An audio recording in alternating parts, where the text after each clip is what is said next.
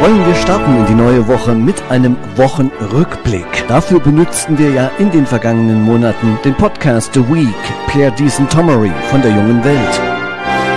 Dieser wurde eingestellt, liegt uns aber weiter in Textversion vor. Jeden Tag vom Mikrofon Roger Köppel von der Schweizer Weltwoche. Erinnern wir uns aber gleich nochmal an die Stimme von Pierre Deason Tomery. Heute meldet die New York Times, dass die ukrainischen Trupp, Truppen im Donbassgebiet nach wie vor mit Nazi-Symbolen kämpfen, mit Nazi-Symbolen, mit SS-Runen und Hakenkreuz. Aber die New York Times, und das ist eben auch der Wahnsinn unserer Gegenwart, die New York Times regt sich nicht darüber auf, dass die ukrainischen Truppen mit Nazi-Symbolen kämpfen. Nein, nein, sie finden das nur schlimm, dass man das eben sieht und dass es somit eben propagandistisch ausgeschlachtet werden könnte von den Russen. Ausschlachtbar auch Pierre Deason Tomery. Der von einer ganzen Reihe von Zwergstaaten anerkannte internationale Strafgerichtshof in Den Haag hat einen Haftbefehl gegen Putin erlassen. Ist er ein Kriegsverbrecher? Möglich, aber darum geht es wohl nicht. Durch den Hager Gefälligkeitshaftbefehl können endlich alle Forderungen nach Verhandlungen vom Tisch gewischt werden, weil mit Kriegsverbrechern wird nicht verhandelt. Roger Köppel von der Schweizer Weltwoche zum Damm. Das ist einfach für mich, ist das wieder ein Beispiel dafür, was eben an Fürchterlichkeiten passiert, wenn man einen Krieg nicht beendet, sondern wenn alle Seiten auf ihrem moralischen, rigoristischen, stumpfsinnigen und engstirnigen Standpunkt sitzen bleiben. Wenn alle sagen, nein, wir machen keinen Frieden, weil der andere ist der Böse und der andere sagt, ich mache nie Frieden mit dem, weil der andere ist der Böse. Also diese Sandplatz, diese Sandkasteneinstellung, wie man sie auch bei Kleinkindern beobachtet oder unter Betrunkenen, wenn sie sich zusammenschlagen in irgendeiner verlausten Bar, das hat diese Komponente nur mit viel, viel ernsthafteren, schlimmeren Konsequenzen. In den Zeitungen lesen Sie jetzt nur strategische Wehrweisungen. Ja, natürlich haben diesen Damm da bei Cherson die Russen in die Luft gesprengt. Klar, das ist so rational, dass die Russen ähm, ein Gelände fluten, wo das von Russland kontrollierte größte Atomkernkraftwerk Europas draufsteht. Was für ein schlauer Plan, die eigenen Gebiete zu überfluten, das eigene Kernkraftwerk hier und eine Strecke zu zerstören über diesen Damm, nämlich eine wichtige Verbindungsstrecke ähm, geleitet worden, das auch kaputt zu machen. Nein, diese Russen, die sind so, das ist ein dermaßen finsteres Volk, nachdem sie ihre Pipelines Nord Stream 1 und Nord Stream 2 selber in die Luft gesprengt haben, Milliarden in den äh, Sand, in den Meeresboden gesetzt haben, jetzt natürlich noch diese neue suizidale, masochistische Kriegsakt, dass sie sich selber äh, durch den linken Lungenflügel schießen. Ich meine, das erwarten die Journalisten. Wir glauben das, was sie uns da vorsetzen an solchen hanebüchenen Theorien. Ja, es ist ja alles möglich und auch das Gegenteil, aber ich habe da so meine Zweifel. Kleiner Wochenrückblick. Roger Köppel am 7. und 8. Juni zum Staudamm. Aber auch Klärt Nord Stream 2 auf. Washington Post, hochbrisante Geschichte, habe ich auch in der Schweizer Sendung angesprochen. Sprengung von Nord Stream durch die Ukraine. Das CIA wusste Monate vorher schon Bescheid. Jetzt also neue Theorien, CIA-Leaks. Die Ukrainer seien es gewesen und die Amerikaner hätten Bescheid gewusst. Vielleicht ist das auch die elegante Version, um zu sagen, die Amerikaner haben es geplant und die Ukrainer haben es ausgeführt. Polnische Spezialeinheit bestätigt Beteiligung an Angriffen auf Belgorod. Polnische, also NATO-Soldaten nehmen teil am Krieg zwischen der Ukraine und Russland auf der ukrainischen Seite. Und das ist eine bedenkliche, das ist eine fürchterliche Nachricht, denn es zeigt einfach, wie dieser Krieg einfach immer mehr Fahrt aufnimmt, immer mehr Kraft ansaugt, immer mehr Hass produziert und immer mehr Länder in diesen Krieg hineinzieht.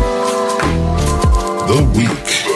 Das Schönste der Woche mit Pierre Diesen Tomori, jeden Samstag neu in der Tageszeitung Junge Welt und auf Podcast 1. Da einige Hörer nachgefragt haben, der Podcast The Week wurde eingestellt, aber es gibt natürlich die Textversion weiter in der Tageszeitung Junge Welt. Kameraden, wir sind frei. Und da tönte ein Aufschrei durch das ganze Lager. Frei! Gemeint ist das Konzentrationslager Buchenwald.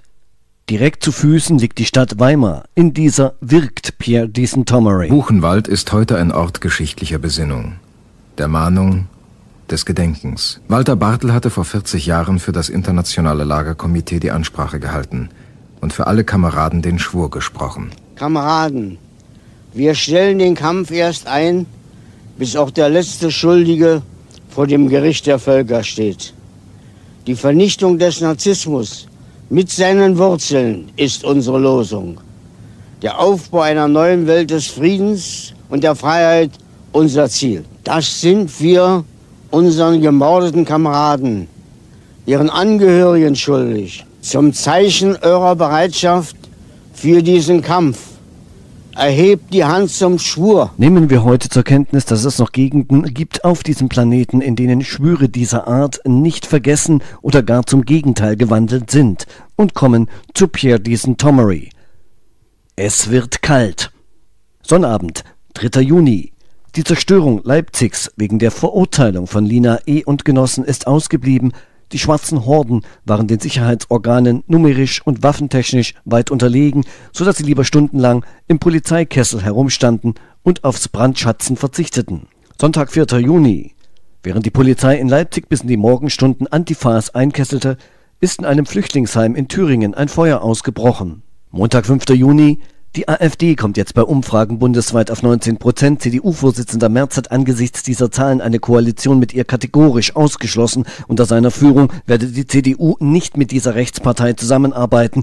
Es gibt ja noch die FDP. Die Staatsanwaltschaft hat heute Anklage gegen Björn Höcke erhoben, weil er 2021 in Merseburg einen Satz in den versammelten Pöbel blökte, von dem er gewusst haben müsse, dass er ein SA-Spruch sei. Zitat, alles für Deutschland. Woher die Richter so etwas wissen? Von ihren Alte Herrenabende. Adolf für Deutschland. Donnerstag, 8. Juni. Vor der italienischen Mittelmeerküste sind rund 1000 Flüchtlinge aus Seenot gerettet worden. Künftig sollen Heimatlose bei ihrer Ankunft in der EU direkt in Abschiebelager gesperrt werden. Das sieht ein Plan vor, über den heute in Luxemburg die 27 Innenminister der EU beraten. Ausnahmen sollen gelten für Asylbewerber, die per Knopfdruck in Facharbeiter verwandelt werden können und für Österreicher, die vor der linksextremen SPÖ flüchten. Einige werden vielleicht in die Schweiz flüchten, denn da publiziert Roger Köppel von der Schweizer Weltwoche. Auch ihn wollen wir nochmal zu Wort kommen lassen. Steinmeier beim Kirchentag.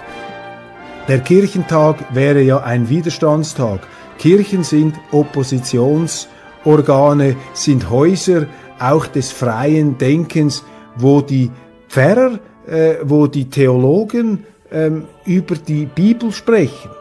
Das war einmal. Heute sind diese Kirchen Zitadellen des Zeitgeists, verlängerte Außenposten äh, der Regierung. Und ich lese hier in der Frankfurter Allgemeinen Zeitung Steinmeier beim Kirchentag, Zitat, es ist auch Zeit für Waffen. Jetzt rufen Sie also in unseren Kirchen bereits wieder zu den Waffen auf. Meine, da müsste man die Kirchen sofort schließen. Wenn wir eine Moschee haben, in der die Imame äh, den Gläubigen zurufen, ihr müsst euch bewaffnen, ja, dann ist der Verfassungsschutz aber morgen mit Schäferhunden in dieser Moschee oder auch nicht. Aber wenn wir jetzt anfangen, in den, in den Kirchen zum Krieg, zu, zum Krieg aufzurufen, für den Krieg zu hetzen, dann kommt sich die Kirche immer mehr abhanden. Und da muss sich niemand mehr fragen, warum die Leute nicht mehr in die Kirchen gehen. Ich will doch diesen Wahnsinn nicht auch noch in der Kirche, auf dem Sportplatz, überall Zelensky, Waffen, Waffen, Waffen.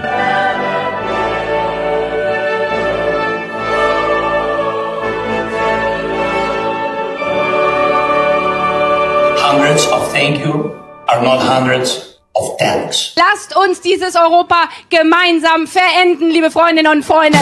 Annalena Baerbock, äh, die unvermeidliche, man kann ihr nicht vorwerfen, äh, dass sie so ist, wie sie ist. Man hat immer gewusst, wie sie ist. Man hat ja äh, gewusst, wen man da wählt. Ähm, eine typische grüne Gesinnungspolitikerin muss das auch positiv sehen. Ich rede jetzt äh, aus Sicht der Kritiker von Frau Baerbock. Du musst auch einem grünen Gesinnungspolitiker die Chance geben, sich selber zu entzaubern. Und sie nimmt diese Chance mal um mal virtuos wahr. Jetzt sagt sie, eine mögliche Verhaftung äh, von Putin sei legitim. Außenministerin Annalena Baerbock äh, wird auf der Zeit ähm, so zitiert, drängt angesichts einer möglichen Verhaftung des russischen Präsidenten Wladimir Putin bei dem Gipfeltreffen in Südafrika auf Einhaltung des Völkerrechts. Also wenn wir ihn schon einsacken, dann äh, muss das Völkerrecht beachtet werden. Das Völkerrecht ist an dieser Stelle klar. Das Völkerrecht macht deutlich, Kriegsverbrecher, Verantwortliche, die Angriffskriege führen, die werden irgendwann zur Verantwortung gezogen. Punkt eins: Kriegsverbrecher. Ähm, es gibt kein, Ur äh, kein Gericht, das von den Amerikanern oder von den Russen oder von den Chinesen gleichermaßen anerkannt wäre und äh, das über Kriegsverbrecher ähm, befinden könnte. Der Vorwurf Kriegsverbrecher ist immer ein politisch aufgeladener. Wir haben kein Nürnberger Tribunal, das äh, von allen Parteien anerkannt ähm, würde. Und zweitens, ähm, Verantwortliche, die Angriffskriege führen. Ja, da müssen Sie auch den äh, George W. Bush, den ehemaligen amerikanischen Präsidenten, den müssen Sie auch verhaften lassen. Also das sind schon Aussagen ohne Hand und Fuß, die hier ähm, gemacht äh, worden sind von Frau Annalena Baerbock. Und Roger Köppels letzter Ausritt heute Roger Waters. Dieser Roger Waters hatte schon seit The Wall 1980, diesem Konzeptalbum, diese Ledermäntel getragen um vor den Schlangenfängern und Nazis zu warnen. Aber weil eben heute Ironie verboten ist, versucht man ihm anzuhängen, er sei selber ein Nazi, weil er in solchen Mänteln rumläuft. Aber ein Zelensky, der mit Nazi-Runen auf seinen Pullovern herumläuft, der wird als Volksheld gefeiert. Wir leben also wirklich in verrückten Zeiten, meine Damen und Herren. Auf dem Pullover war dasselbe Symbol wie auf der Fahne der Neonazis, die jetzt in Russland eingedrungen sind. Ich habe Ihnen dieses Bild gestern gezeigt. Ein altes Symbol ukrainischer Ultranationalisten. Und das offizielle der Wappen der Ukraine, das hat für mich auch so etwas Stechschrittartiges. Das ist jetzt eine Ikonografie, etwas aus dem Hüftgelenk heraus, meine Damen und Herren. Subjektive Eindrücke, aber die darf man ja auch loswerden. Ähm, Liebe Schlagerfreunde, ich hoffe, damit sind wir gut in die neue Woche gestartet. Die kleine Audiodatei mit einem launischen Wochenrückblick in eine launische Woche. Thema Nummer 1 bei der Tagesschau. Im deutschen Luftraum beginnt heute die größte Luftwaffenübung seit Bestehen der NATO. Worum geht es beim Air Defender Manöver? Welche Kritik gibt es daran und kommt es deshalb zu Flugverspätungen?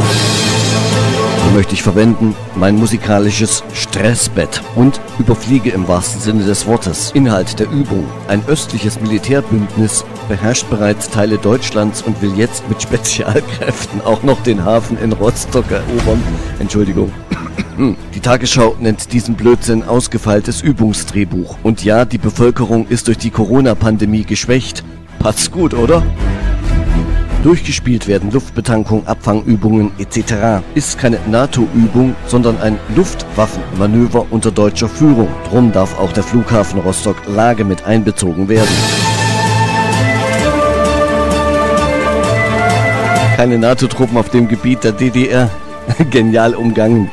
Geübt wird auch die Verlegung von Flugzeugen, zum Beispiel aus den USA nach Deutschland. Geübt wird über der Ostsee, Mecklenburg-Vorpommern und Teilen Sachsens. Geplant sind auch Tiefflüge im Übungsraum Ost zwischen 10 und 14 Uhr. Mit verspäteten Flügen muss gerechnet werden. Die ARD stellt die Frage, was hat die Übung mit dem russischen Angriffskrieg gegen die Ukraine zu tun? Antwort der deutsche Luftwaffeninspektor Ingo Gerhards ist bereits vor fünf Jahren in den USA bezüglich dieses Manövers vorstellig geworden. Auch das in sich schlüssig passt Warum sind die USA so stark beteiligt? Die USA wollen ein Signal der Abschreckung senden. Und die Tagesschau, welche Kritik gibt es an dem Manöver? Kommen Sie drauf? Was kostet dieses Mega-Manöver? Bundeswehr schweigt, man kann das erst hinterher sagen. Auch wird die Frage gestellt, welchen Klimafußabdruck das Manöver hinterlässt. Antwort der Luftwaffe, Sicherheit gibt's nicht zum Nulltarif. Und dann tatsächlich auch in der Tagesschau die Frage, ist das nicht eine Provokation in Richtung Russland? Und darauf die Antwort, eine größere Eskalation als den Überfall eines defensiven Nachbarlandes kann es kaum geben.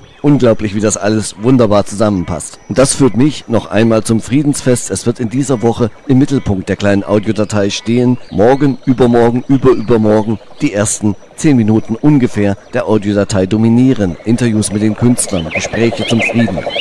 Gestern ausführlich publiziert Kolumnist Jürgen Eger. Sein Sermon, der natürlich widersprüchlich aufgenommen wurde, vom nicht beteiligten Publikum übrigens überwiegend positiv. Verkürzte Kernaussage, harter Tobak, aber viel Wahrheit drin. Auch Lob dafür, sich nicht bedingungslos mit einer Sache gemein zu machen. Seitens der Beteiligten gab es natürlich Missverständnisse. Hier möchte ich mich nochmal klar positionieren und auch auf den eigentlichen Inhalt und den eigentlichen Adressat des Textes bzw. der zwei Texte, der gestrige war der zweite Teil, von Jürgen Eger hinweisen. Adressat war zunächst ich, ja, Ihr Erzähler. Ich habe in der vergangenen Woche Werbung getätigt für die Tageszeitung Junge Welt und für das Friedensfest. Sie können nachhören, das war ordnungsgemäß durch einen Werbetrenner angekündigt, dem grad gehörten. Eger begann seine Texte auch mit Der Marabu wirbt. Also eindeutig bin ich der Adressat. Die Polemik wider die junge Welt war kurz und scharf. Die zum Friedensfest bewegte sich auf das Nebengleis der Kulturkritik. Zugegeben etwas heute kaum noch Geläufiges. Der Kern aber war etwas anderes. Kritisiert wurde die westliche Dominanz. Das kann man durchaus weiterführen auf die gesamten alternativen Medien. Heute ging es ja los mit Roger Köppel. Auch der als Schweizer 100% westlich geprägt und vor allem, was wichtiger ist, weil er sich auch offen dazu bekennt, ein Antikommunist. Die westliche Prägung der meisten alternativen Medien, drum zählen wir uns auch nicht direkt dazu, ist stringent antikommunistisch. Ich bin kein Kommunist, aber vor allem auch kein Antikommunist. Der Faschismus ist mit Antikommunismus unbekämpfbar, weil im Antikommunismus der Faschismus innewohnt, de facto wie ein Geist aus der Flasche geholt werden kann, werden ostdeutsche Meinungen, die in der Mehrheit nicht antikommunistisch sind, unterdrückt, ist eine Entwicklung zum Faschismus nicht aufhaltbar. Und dieser böse Begriff mit F wird ja von einigen Publizisten, ich denke da an den Kameraden Paul Brandenburg, in schöner Regelmäßigkeit verwendet.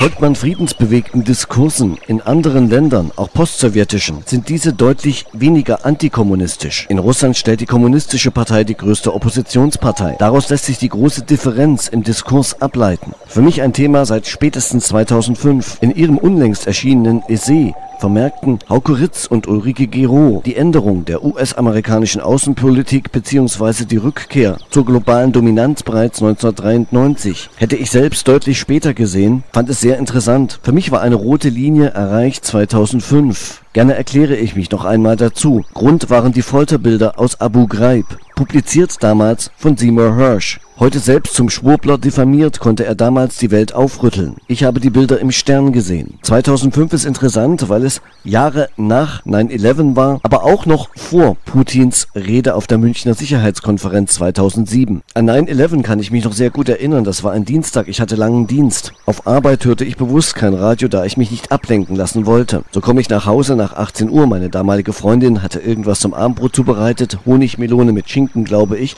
und saß flennend im Sessel zeigte auf den Fernseher und erklärte, da ist ein Flugzeug ins Empire State Building geflogen. Mein erster Kommentar als Architekturbegeisterter, oh zum Glück nur das World Trade Center. Aber mein zweiter, das wird Krieg geben. Den Reigen der Verschwörungstheorien eröffnete am selben Abend übrigens Niki Lauda in RTL. Er erklärte, unmöglich kann ein nur kurz ausgebildeter Pilot das geflogen haben. Wer wann wie in wie viele Hochhäuser flog, hat mich persönlich nie wirklich interessiert. Geopolitisch interessant, vor allem aus dem Rückblick heraus, ist eine ganze Abfolge von Kriegen, alle gegen das Völkerrecht verstoßend. Deutschland versuchte sich in den ersten Jahren mit Figuren wie Guido Westerwelle oder Gerhard Schröder aus dieser Entwicklung herauszuhalten. Unter Angela Merkel wurde Deutschland in langen Jahren sehr viel enger an die USA herangeführt. Dies blieb in Russland nicht unbeachtet. Russlands rote Linien wurden 2007 bei der Münchner Sicherheitskonferenz von Wladimir Putin festgelegt. Ungehört und umso zielstrebiger wurde die Situation Krim, wenn Sie mich fragen, aus westlicher Orientierung heraus herbeigeführt. Das wurde damals auch in westlichen Medien, auch in Mainstream-Medien durchaus noch diskutiert. Diese Diskussionen verebbten ab 2015. Von da an gab es nur noch eine Meinung in der Sache und ein Feindbild. Letzte oft hochbetagte Kritiker bewegten sich zunehmend in Richtung Abseits. An Zuwachs gewannen die alternativen Medien. Für mich war spätestens ab 2017 klar, und da habe ich es auch offen formuliert, dass Russland militärisch denken werden muss. Als dann im Frühjahr 2020 die uns allen bekannte Situation eintrat und Fragen dazu nicht beantwortet werden durften, auch nicht gestellt werden durften, war für mich relativ klar, jetzt kommt es. Ich erinnere mich sehr an mein ostdeutsch geprägtes Umfeld. Hier gab es eigentlich kaum einen, der die Erzählungen zu 100% glaubte. Ich nenne mal einen Stammtischsatz eines Försters, jetzt werden die Karten neu gemischt. Im Westen prinzipiell anders. Genau deshalb setze ich mich für eine ostdeutsche Stimme ein, die nicht von Antikommunismus geprägt ist. Abschließend dazu, Die Werbung für die Tageszeitung Junge Welt erfolgte mit Gegenleistung. Die Junge Welt warb in der vergangenen Woche in ihrer Printausgabe für Radio Marabu. Die Werbung für das Friedensfest erfolgte ohne Gegenleistung. Ganz im Gegenteil, ich fuhr 100 Kilometer, um am Sonnabend dort Interviews aufzuzeichnen, die in den nächsten Tagen hier laufen werden. Irgendwie passend dazu aber eine Kommentierung, die ich tätigte auf dem Portal VK. Sowas mache ich sehr selten. Hier postete jemand ein Bild, aufgezeichnet wohl in Sachsen, Krieg mit Russland. Dafür war ich 1989 nicht auf der Straße. Ich kommentierte, ja, dafür war man 1989 auch auf der Straße. Genau deshalb war ich nicht auf der Straße, nur am 1. Mai und am 7. Oktober. Hier antwortete mir ein Horst Wischnowski. Marcel, ich bin auch Ossi und war 89 nicht auf der Straße, heute bereue ich das und sehe die DDR als Vorstufe von dem, was wir jetzt erleben. Hierauf meine Antwort, man sollte Gesellschaften von verschiedenen Gesichtspunkten beurteilen. Eine Gesellschaft mit vergesellschafteten Produktionsmitteln ist weit entfernt von einer, in der sich Macht und Mittel in den Händen weniger befinden. Das völlige Gegenteil, das sich subjektiv durchaus ähnlich anfühlen kann, aber nicht ist. International der frühere US-Präsident Donald Trump will wenige Stunden nach seinem Gerichtstermin morgen öffentlich Stellung nehmen. In Moskau ist ein US-amerikanischer Musiker wegen des Verdachtes des Drogenhandels verhaftet worden. Die frühere schottische Regierungschefin Sturgeon wurde gestern kurzfristig festgenommen, danach wieder freigelassen. Bei der Montenegro-Wahl führt die Europa-Jetzt-Bewegung. Das Wall Street Journal berichtet, die Nord Stream-Saboteure könnten Polen als Operationsbasis für den Anschlag auf die Pipeline genutzt haben. Deutsche Ermittler untersuchen nun weiter. Klärt Nord Stream 2 auf. NATO-Manöver, NATO-Gipfel im Juli. Bringt dieser weitere Eskalation? Dagmar Henn fragt das auf Russia Today. Sie beruft sich auf Veröffentlichungen in der Zeitung Foreign Affairs der wichtigsten außenpolitischen Zeitschrift der USA. Sie stellt die dort diskutierten unterschiedlichen Sichtweisen dar. Einerseits einen möglichen Rückzug aus der Ukraine, hier nimmt sie noch einmal Bezug auf die Rand-Studie, gestützt durch häufigere Berichte über die Nazi-Ideologie in der Ukraine Unlängst in der New York Times, hier schrieb man, dass Fotografen Mühe haben, die Nazi-Insigien ukrainischer Soldaten nicht mit aufs Bild zu bekommen. Andererseits nennt sie Hardliner vor allem auch in Europa, genannt auch unser Kanzler Scholz. Liebe Mitbürgerinnen und Mitbürger. Zu Scholz Zitat Hen, Gerade Scholz lieferte in den letzten Monaten ein geradezu historisches Spektakel, denn die auch in Deutschland verbreitete Version der Nord Stream-Saga mit der Ukraine als Täter müsste zumindest zu zunehmender Distanz führen. Seine diesbezügliche Harthörigkeit lässt eigentlich nur noch die Option offen, dass er von dieser Kriegshandlung gegen Deutschland vorab nicht nur gewusst, sondern sie gebilligt hat, was ein Verhalten wäre, für das das deutsche Strafrecht weder einen wirklich angemessenen Paragraphen noch eine wirklich angemessene Strafe kennt. Weiterhin, auch in Bezug auf die politischen Entwicklungen rund um die beiden Regierungen wird in Europa so getan, als gäbe es das alles nicht. Genannt werden Enthüllungen. Beide Seiten werden vom NATO-Gipfel versuchen, ihre Ausgangsposition zu verbessern. Hen nennt ein Problem. Keine der beiden Fraktionen kann eine bessere Antwort auf den Niedergang des US-Imperiums bieten. Sie stellt fest, wenn eine Auseinandersetzung mit Russland schon zu einer Niederlage führt, wie soll eine Auseinandersetzung mit China zum Erfolg führen? Ich ergänze, na eigentlich war ja auch Afghanistan eine Niederlage. Hen schließt. So vielgestaltig die Manöver sind, mit denen Öl ins Feuer gegossen wird, entscheidend ist, dass die Menschen im Westen erkennen, wer die Ölkanne in der Hand hält. Aber von der gegenwärtigen Friedhofsruhe bis zu einem Moment, an dem in Westeuropa Regierungen nachgeben oder gar gestürzt werden, ist noch eine gehörige Strecke zurückzulegen. Eine gefährliche, gehörige Strecke, ergänze ich. Ergänzend der Text von Dagmar Henn, wie immer formal hochbefriedigend. Ob dazu passend oder nicht, vielleicht ja doch. Berliner Zeitung berichtet Interstate 95 in den USA, eine Autobahnbrücke in Philadelphia ist eingestürzt. Schuhe bei Renault kaufen bald nicht mehr Insolvenz. Berichtet wird aus Düren, das ist hinter Köln, stark zerstört im Zweiten Weltkrieg. Die Fassade des Traditionsunternehmens Kraft und Söhne zeigt ein Plakat Annalena Baerbock und Robert Habeck. Darunter der Text, wenn ein Clown in einen Palast einzieht, wird der Clown kein König, sondern der Palast wird zum Zirkus. Finanzmarktwelt berichtet, die BRICS-Staaten diskutieren aktuell eine mögliche gemeinsame Währung. Man will sich explizit gegen westliche Sanktionen schützen. Der russische Publizist und Philosoph Alexander Dugin sprach am 1. Juni auf einem Forum in Moskau. Er ruft zur Eurasischen Staatenvereinigung auf. Nach Deutschland berichtet wird der Anti-Wagenknecht-Beschluss des Parteivorstandes der Linken. Man fordert, sie möge ihr Bundestagsmandat zurückgeben. Beistand erhält Wagenknecht unter anderem von Klaus Ernst. Parteichefin Wissler verteidigt den Beschluss. Sehr schlüssig dazu nicht nur Umfragen, sondern auch Wahlergebnisse für die AfD auf nach Thüringen.